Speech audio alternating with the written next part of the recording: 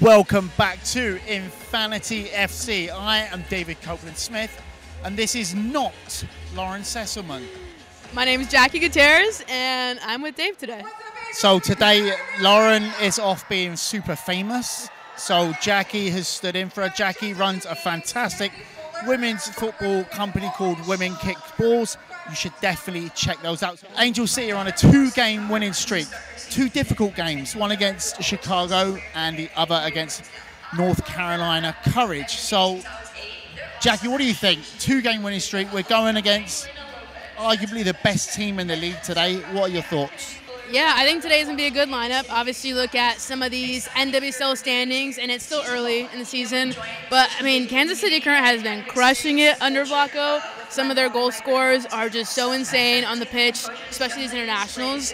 And if Tell you, me about them. So we have Bia Zaneratto, who's done really well, four goals so far.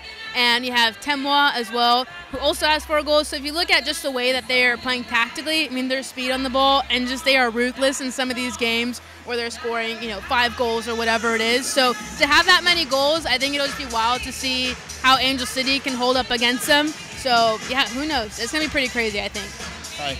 So, you know, we're obviously bigging up Kansas and their goal scoring prowess.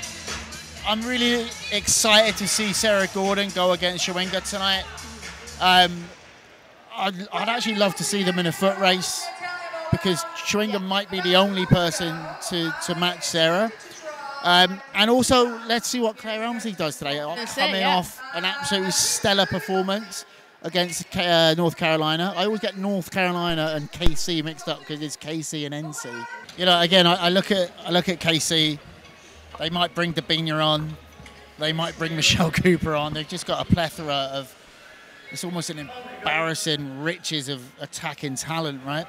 Um, but I said this last game, and we saw it for a little bit, which was Kennedy Fuller and Rocky Rodriguez, two very, very technical players, two players who love going forward. And I hope we see that on the starting lineup tonight. Maybe if we get in early, I do this every week. Jackie, what's your predictions? Ooh, game predictions. Okay, this can be a little tough, but I'm gonna say Kansas City Current four, Angel City two. Wow. That, you just wowed me. Let's go. Let's go, Angel City.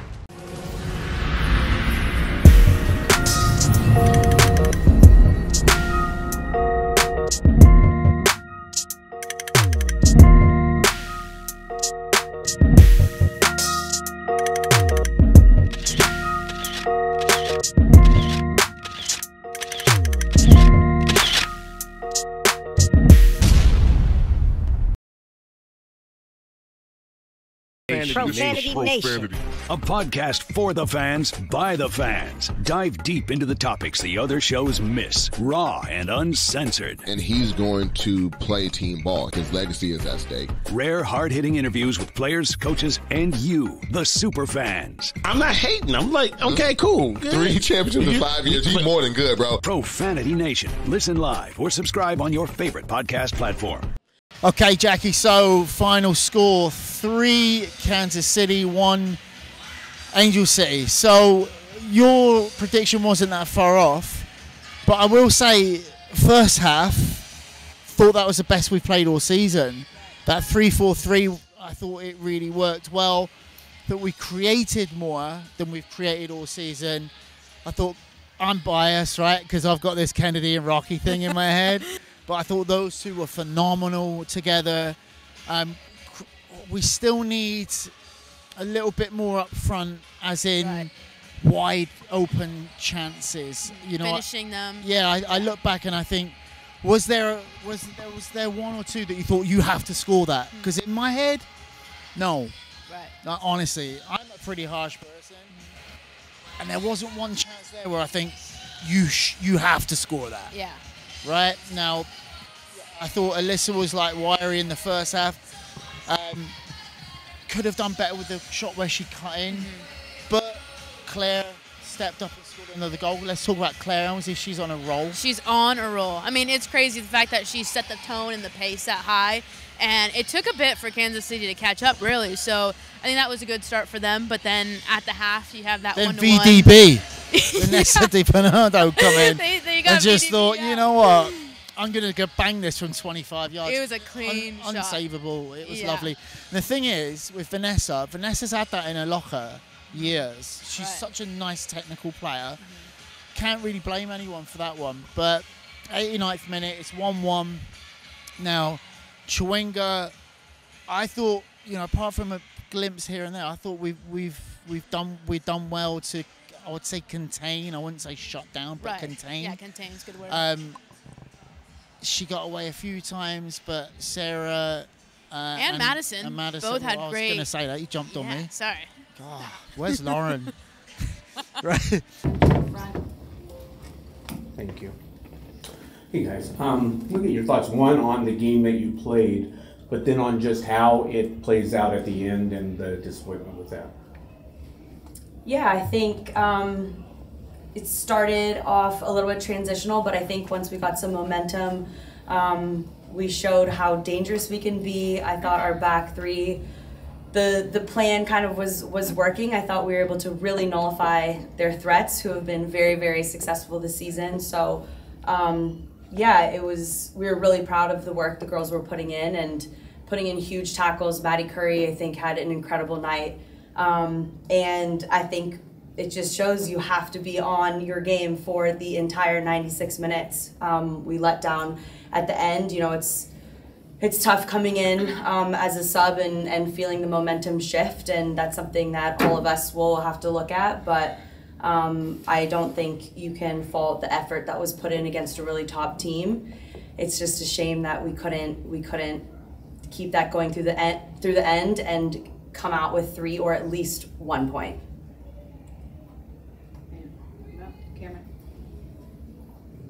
Um, Oh, yeah. yeah.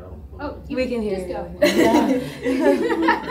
Yeah, uh, Alyssa, can you walk us through the uh, the goal that Claire um, scored? So at that point, you guys had some pretty good, strong um, uh, possession spells there for that. How do you see that sort of breakdown?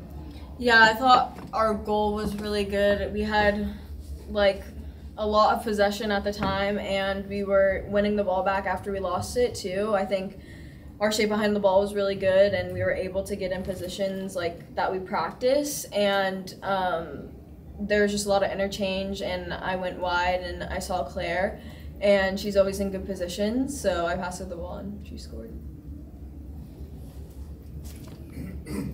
Yeah, hi Ali. Uh, you spoke about the back three. Obviously, you came in as a sub, but kind of know, throughout the week or for however long, kind of what was it like adjusting to the new system? You know, when did that come up? um, it was a really quick turnaround from the last game, obviously, and the players who played the last game had to recover and and get ready for this game. So I think we really only had a day and a bit, um, and that's why I think even more credit to how well I think that change worked. I think that um, you know Chawinga and Michelle Cooper coming in, Mace, like they had another gear, I think, and were able to wear us down a little bit. But I think that Meg and and Sarah and Maddie just were so strong back there, and again, we had really good spells of possession. And that was, I think, the key. And when we lost that a little bit, and then we couldn't get pressure on the ball, yeah, they just kept coming and coming. But I do think that we have really good chances. It would be helpful for those three in the in the back line probably to finish finish a couple more chances. And they were they were knocking on the door. Um, Franch had a couple really really good saves. But yeah, I think we should have come out with, like I said, at least at least the tie. Yeah, and then I'm curious about the captain's armband. It looks like something's written on there. I don't know, you know, Oh, on here? or uh, the other. Yeah, that. What is? Whose Well- idea was that? Kind of. I don't, I don't know if I Um, yeah, well, it says big anti-racist energy, which uh, we are proud to have here. Um, I think we have we have a few different armbands, but we, as a club and as a team, we really want to take all opportunities we can to show what we stand for. So yeah, this is this is obviously one of our favorites that that we've had from last season, and we have our our uh, pride armband as well. So I think yeah, any again, there's there are restrictions to, to what we can wear when we um, when we go out onto the field. But obviously, I had that opportunity um, at the World Cup to find a creative way to show, and I think what the club has done, and, and huge credit to Brock, our, our equipment manager, to show to be able to find a way for us to show what we stand for at this club. Jackie in the back. Thank you.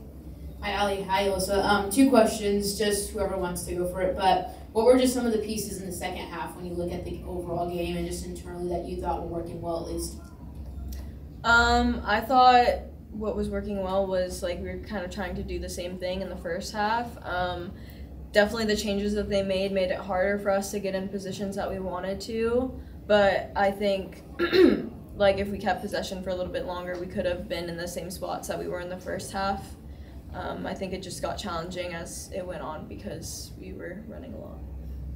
And then Ali, for you, you mentioned um, how Kansas City came in with this extra kind of like gear in a sense um, with some of their subs. But how do you think the team, looking forward now, kind of embraces that and levels up for this next road game?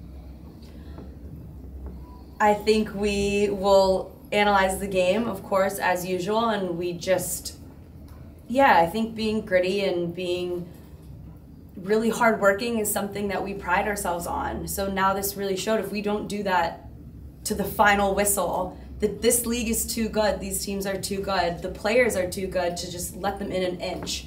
So that's where we, again, the players who started the game, creating great chances, scoring a really, really good goal, that's something. Can we keep doing that? Can we keep creating chances? Can we score another goal? And then as defenders, as wingbacks, can we show to the very end that we're willing to put our body on the line, sprint back, recover, and even higher up the field, put pressure on the ball so they don't even get to our defensive third to begin with. So I think putting the all of those pieces together is something that we're going to have to do against every single team. And then now, off the back of this loss, it starts with Utah.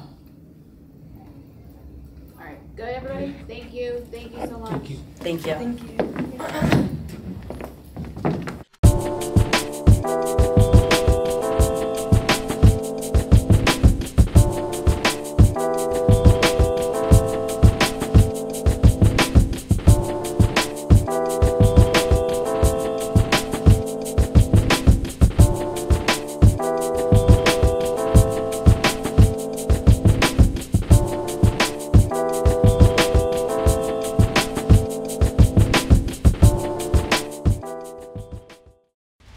Let's go. Let's go, Angel City. Hey, Becky. Hey. Um, I want to get your thoughts on what you were happy with when you guys were ascendant, and in the second half as they start to take over. What was it that you guys were didn't do well or were unable to do? Um, I think first half we created a decent amount of opportunities. I think the game plan, um, I think structurally, I think we won tackles. Um, I think we came in at halftime in a good position.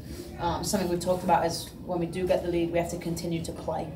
Um, I think, arguably, for 89 minutes, I think we did. I think we switched off for the last six minutes, and you can't switch off in the last six minutes against any team in the in the NWSL, let alone a team that scored 20 goals. So um, I think that is reflective of something we need to look at every day, um, and we just have to get better from it.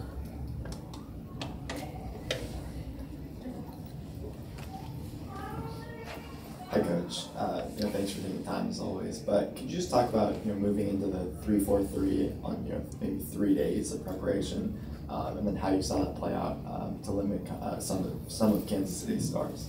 Yeah, I think we stopped Kansas in transition for like for the most part of it. I think we were able to keep Bia and Chawinga pretty quiet. They've been two really threatening players, obviously, in the league, and we chose to play in a 3-4-3, build in a three with two sixes to have five players available for transition. I think when I looked at other teams play against them, often one six gets punished. That happened to us last time. Um, when you build out with two centre backs really wide, again, if you give the ball away, they're just looking to punish you. So something a little different. We didn't have a crazy amount of time to prepare, but um, I mean, credit to the team in the time that we did have. They executed it really, really well. Um, and I think that again we did limit those chances. I think when you look at Kansas's depth of their squad, um, ultimately I think that is something that you, you can bring Debinha off the bench. You're in a good space. Um, so yeah, I think disappointed again for the last six minutes really. Um, Di Bernardo hits one top corner, but the last two goals I think for us we have to be better defensively. Um, it actually starts with us being better in possession and things that we spoke about before the game because you will get punished by these teams. Um, so yeah, I think again we had three days to turnaround. Um, really call it two, um, but the team was really bought in and they executed the game plan really well. So that was pleasing for us as well. Yeah, and Claire Emslie gets another goal. Could you just talk about her start to the season? You know, obviously tied up there for Golden Boot, race, all that. Yeah, um, I think Claire's found this like confidence and this flair in the box. I think it's really cool to see her. It's like it's not even your scrappy goals now she's scoring. It's like composure. It's she knows what she's doing. Um, and I think you need a player like that. Like you need that player that's going to step up, and you know that every game they're going to create you or score goals for you. And I think Claire's taken that role on. I think she's kind of found her footing in the NWSL now. I think any player that comes over from Europe always finds it difficult, um, and I think it takes some time to adapt. And I think Claire's really adapt, um, adapted really well. So yeah, it's great. I think again, Alyssa getting an assist is huge. Um, and we just have to keep working hard in that final third. I know it's cliche to say it's the hardest part of the game, but it really is. Um, so yeah, credit to Claire. Um, I think her start to the season's been brilliant. Becky, um, two questions for you, but just going into the second half with that one-on-one standstill, like what was your just messaging to the team in, in that moment at least? Yeah, we obviously thought at halftime they would change a little bit. Um, I know that we prepared for what would they do if we came out in a 3-4-3 would they change the press would they change how they built and they changed a little bit um, we knew that we had to continue to play and keep the ball i think where kansas really hurt teams are actually when you're in possession and something we said today was that we may have to concede a little bit of possession because they want us to have the ball um, and they want us to give the ball away so they can counter on us so I think we didn't need to press as high. We basically said to them, well, you have the ball. um, and actually, when I, I just looked, it ended up pretty 50-50 in possession. Um, so, yeah, we again, that's something that we have to look at. We have to continue to play when we go 1-0 up. We have to continue to play when we go 2-0 up. We can't just sit back and defend. Um, and again, I, I don't think we necessarily did that. Um, we just became a little careless on the ball. Um, and mistakes that we talked about that we that we needed to erase started to come out a little bit as we got tired. And then also too, just thinking about Madison Curry's performance, and obviously she did very well in today's game. Just what was your advice or the direction that you gave her for this match?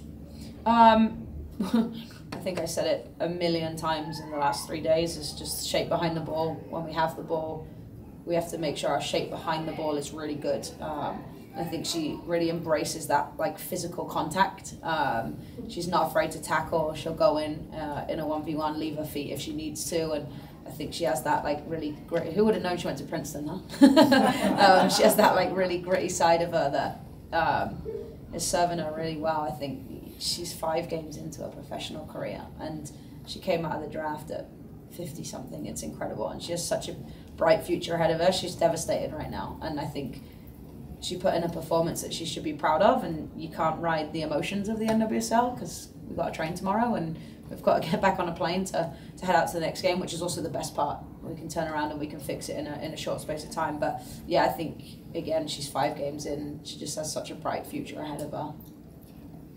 Hey, Becky. Um, Hey. Oh, sorry. Oh, this right. In the in the three four three setup, was Alyssa playing a little deeper than she Mhm. normally does? And Yeah, it's did a, a new role for Alyssa, um, and it's a lot of work. but yeah, at times she had to defend as a left back, and I think that again she embraced it. I think she did really, really well in it. Um, I think it obviously requires a lot of up and down running, box to box, um, and she's more familiar with being a little bit closer to goal. But I think she showed a little bit more of a maturity tonight and how much she's growing. She's still 19, but she's taken on a different role. Um, she understood it. Um, think the first question she asked me yesterday was, I'm going to have to take throw-ins, um, which was very interesting. Um, but yeah, no, I think that, again, these are the things that it's the first time we've really played in that shape, um, using her as a wing back. But yeah, I think she did really well in it. Yeah, kind of adding to you know the whole holistic discussion. You you mentioned the assist earlier. How important is you know, getting that number? You know, just for her confidence. Uh, obviously, still very young, but just moving forward. Yeah, I think this year is a, a great year for Alyssa to just be herself and enjoy the game again um, and enjoy football. I think last year was a whirlwind year for her as a rookie. Um, I just want to take all that pressure off her and just give her that like love of the game. Um, and I think you can see that she's definitely um, she's played a lot of minutes in the last six games, and I think that and again is like another piece of maturity to her game is the way she plays.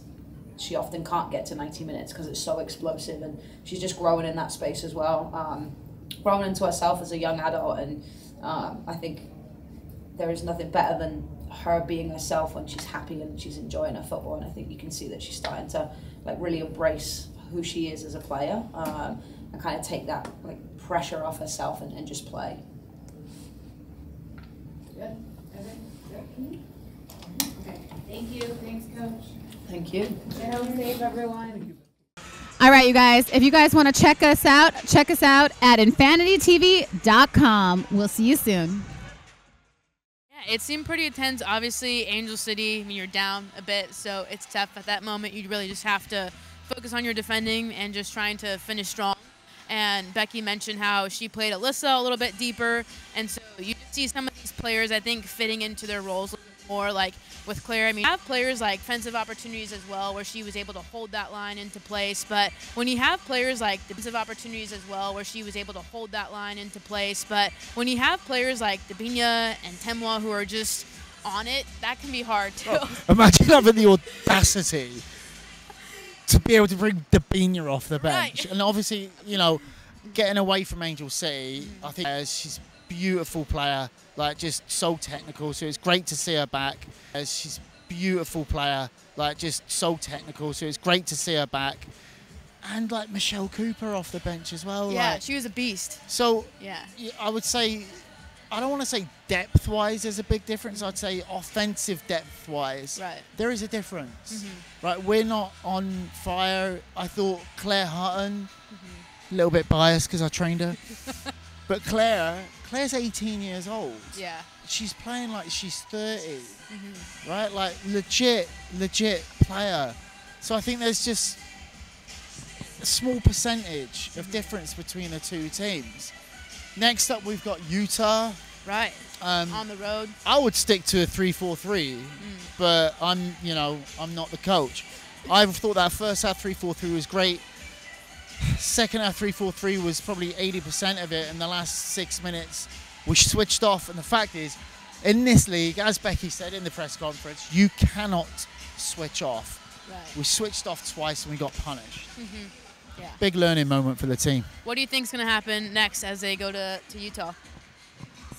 Um, I think Utah are beatable, um, and I think if we've got, we should be pissed, right? Right. We just Ending the night like this. We should have yeah. tied the, the, the top team, so I think we're going to go there pissed, and I think we're going to get a result. Yeah, for sure. I think too as well. Like there's a lot of good opportunities of what Becky was saying, and some of the players as well of learning from this and taking it because they played so well and solid in the first half, but then struggling a bit in the second half to maintain all of that. So coming out on the road, I mean that's a great opportunity to really make a comeback and get another three points. So who knows? I mean they got their last win on the road as well before the the cur- uh, eh, before the courage win. So I think it's possible, and like you said, they're beatable.